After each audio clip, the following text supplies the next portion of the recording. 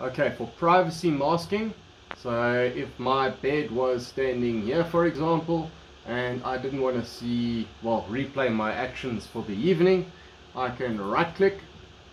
Now I've already logged in, it would normally take you to your login password or pattern screen.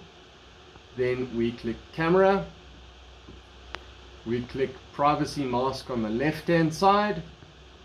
And let's say that's my bed over there. I want to enable privacy masking.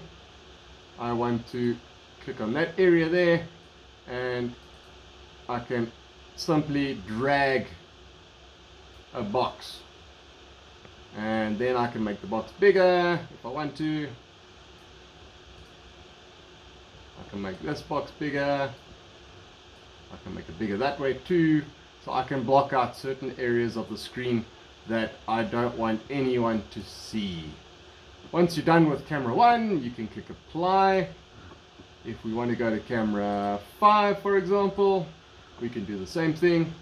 There's uh, my neighbor's pool for example. I can just drag across on the screen. There it's blacked out. Click apply and we won't be recording any of that